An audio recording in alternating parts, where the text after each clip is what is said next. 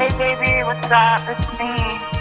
Um, well, uh, I I tried calling you, but I keep I keep getting your voicemail. but anyways, I really just I just wanted to tell you that I just wanted to tell you that I don't think I can do this whole thing with you anymore. This whole celebrity thing was on the bright lights, flashing in our faces everywhere we go, and this fast-paced life is a little too much for. And and not to mention how this industry has completely changed you in ways I would have never imagined.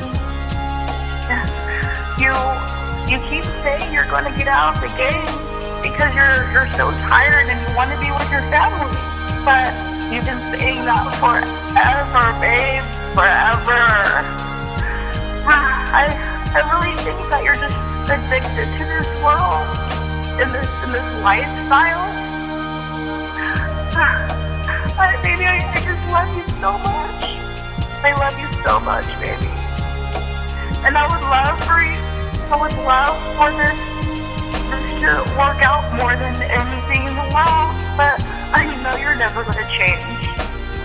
You're you're gonna die in this game.